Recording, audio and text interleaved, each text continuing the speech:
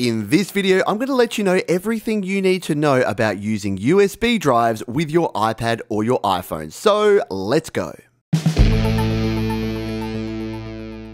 Hi, my name is Pete, and this is Studio Live today, where my goal is to help you create, record, and release your best music. And if you are using your iPad or your iPhone to create music, you may be interested in the new iOS 13 and iPad OS 13 updates because we now have the ability to connect USB flash drives and hard drives and card readers into our iPad or our iPhone using a Lightning to USB adapter. So, in this one, I'm going to give you all of the information you need to know to get started and start accessing your files on your iOS device. So let's start with the basics compatibility. If you want to use a USB drive with your iPhone or iPad, you will need iOS 13 or iPad OS 13 installed on your device. And the minimum devices are an iPhone 6S or above, an iPad Air 2 like this one or above, an iPad Mini 4 or above, or any iPad Pro. If you're running an earlier model, unfortunately, you'll be stuck on iOS 12. You won't be able to install iOS 13 and you won't be able to use use USB drives with your device. Now that we've got that sorted, let's jump in and show you some of the basics of connecting USB drives. Now, the fundamental piece of gear you'll need is one of these, a Lightning to USB adapter. This is the Apple Lightning to USB 3 adapter. I like this one because it has a USB port, it has a Lightning port to power up your device, which is important as we'll cover in a moment, and then a Lightning connector to plug in to your iPad or your iPhone. You can buy third-party versions. I've tried them. I haven't had a lot of success. Your mileage may vary, but if you are looking for one of these, check the link in the description below to where you can pick up a Lightning to USB adapter so that you can plug in your USB drive. Now, let's connect this up and show you how we can get this done. So let's plug in our Lightning to USB 3 adapter like so. We're then going to grab a USB flash drive and plug that in to our USB port and let's see what happens. Yes, this is what happens. Cannot use accessory this uses too much power.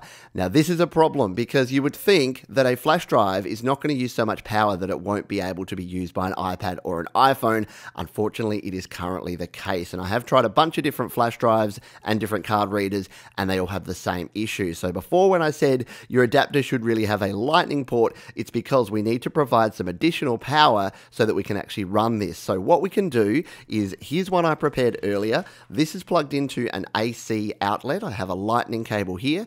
And if we plug that in to give some power to our iPad, we'll hit the OK button there to get rid of that error message. What's going to happen now is it's going to pop straight up there. So there it is. There's About Time, which is the name of this flash drive. I can tap on that one and I'll jump straight in here. And now I can access all of these files. And there's another video showing a bit more detailed explanation and demonstration, which you can check out in the link up the top and in the description where I showed this using my iPhone. But that is the fundamental basics of connecting. So yes, the disappointing thing is we do need to have power down here here, we can't just plug straight in, which is going to impact your ability to do this when mobile. However, there is another solution to getting some more power. In fact, there's two more solutions, which we're going to jump into now. And our first option, especially if you want to be portable, is to use a mobile battery, a power bank, a mobile power bank, whatever you want to call it.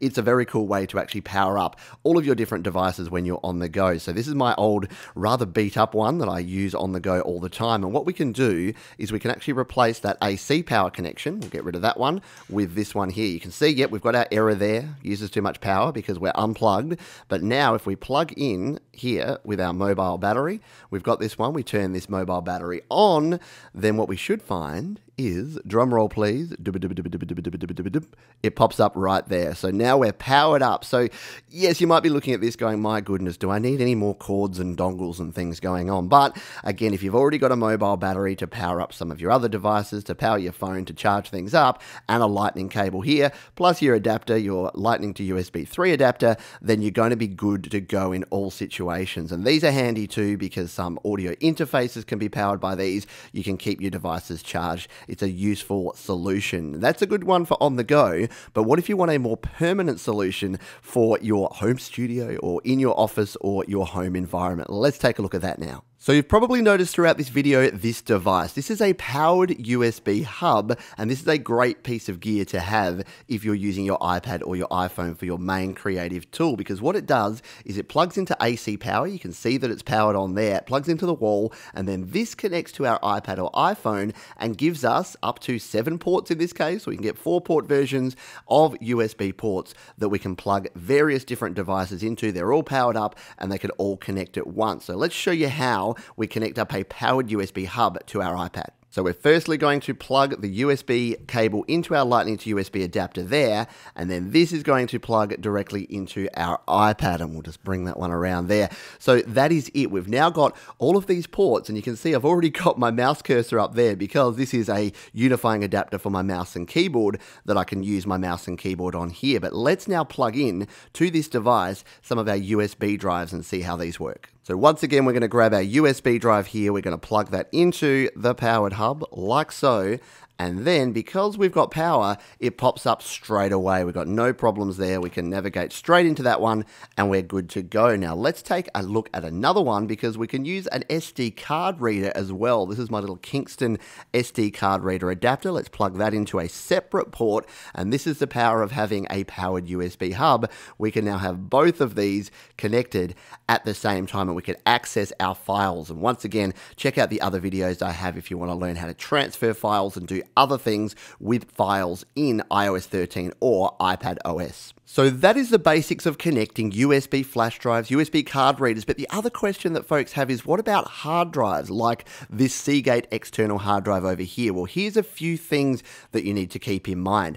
Hard drives, or any drives in fact, need to be formatted in a FAT format, often called an exFAT or FAT32. It needs to be some sort of FAT format. If you're using something like NTFS, which sadly this Seagate uses, it's not going to work. So you can use any externally powered drive and plug it in using this exact same method and it's going to pop up on there, but it does need to be formatted with that FAT format, otherwise it's not going to work. The other thing I have tried is some portable hard drives, and the problem there is that they don't seem to get enough power. Even from a hub, they don't seem to get enough power to spin up. So your mileage may vary, you may get ones that work, but solid state drives are definitely better unless they are externally powered like this one here, and once again formatted with that FAT file structure. And one final thing, if you're using an iPad Pro latest gen that has a USB-C connector, obviously this won't be relevant to you, but you can actually use a USB-C flash drive or get a USB-A to C converter. And the good news is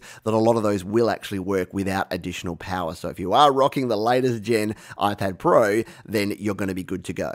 So there you go, everything you needed to know about using USB flash drives, card readers, and hard drives with your iPad or your iPhone. Yes, it's not a perfect implementation. Yes, it would be better if we didn't have to have that additional power, but this has given you some tips and some ideas about how you can get set up and some of the gear that you'll need. Once again, if you're looking for a powered USB hub or a Lightning to USB adapter, check the links in the description below. If you've got any other questions, please leave them in the comments. There's two more videos linked down below. You can subscribe to the channel by clicking or tapping on the Studio Live Today icon, and I'll see you on the next one.